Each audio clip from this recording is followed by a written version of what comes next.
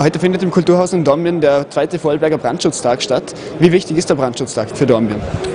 Ja, jedenfalls freuen wir uns, dass eine so wichtige Veranstaltung in Dornbirn stattfindet und mit über 250 Teilnehmern ist das ja ein Beweis dafür, wie wichtig derartige Tagungen sind für uns als größte Stadt des Landes und auch Betreiber eines Krankenhauses und mehrerer Pflegeheime hat natürlich ein derartiger Tag eine große Bedeutung.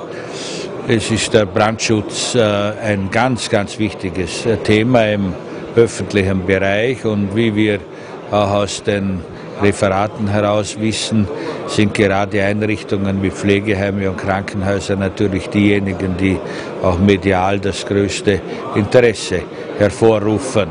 Und wir sind aufgerufen, immer auf dem neuesten Stand der Technik äh, und auch der Organisation natürlich Brandschutz zu betreiben und freuen uns über derartige Impulse.